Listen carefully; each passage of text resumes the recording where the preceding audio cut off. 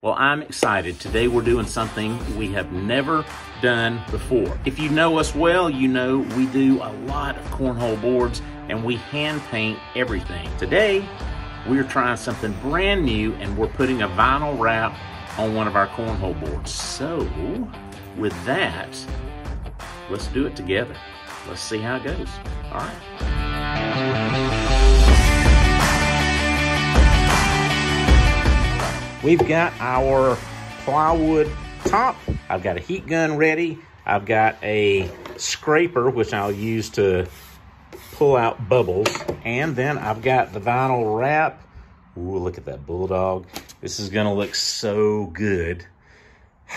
I'm hoping it's gonna be really easy. So let's see. Here we go. Now, according to what I had seen, uh, the first thing to do was to stick one end of the vinyl up at the top of the board and then methodically peel off the backer paper uh, and it looked like it would just lie down. Uh, it didn't do that. Um, there were a lot of air bubbles. It kept getting cockeyed. So uh, finally, I just decided to just pull it on out, lay it out there, and then work out the air bubbles, which were inevitably going to be there. This seemed to work pretty well, um, and my hands seemed to be the best tool for this, but now I did not have a rubber spatula or a rubber scraper. The heat gun, as you'll see here, made life a lot easier. Then we turned over cut out a smaller hole inside the hole on the cornhole top, then turned it back over, put the heat gun to it, which made the vinyl malleable, and then we just stuck it down on the inside of the hole and it stretched and stuck and uh, you know we had to tinker with it a little bit but it actually turned out really nice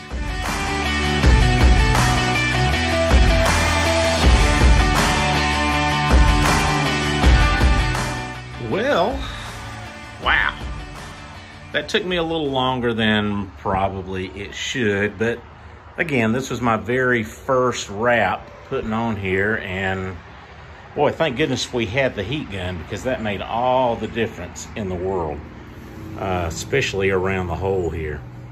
But it went really well, and I'm pretty happy with it. I'm, I'm wondering if I'm going to need to come back and just make these edges go away because I can see this is trying to come up already right there. That's probably not going to work. Nevertheless, what a sweet looking cornhole board. I like it. I like it. All right, for our first cornhole board vinyl wrap, I think that went really, really well. We will do more of these and hopefully I'll get faster and better at it.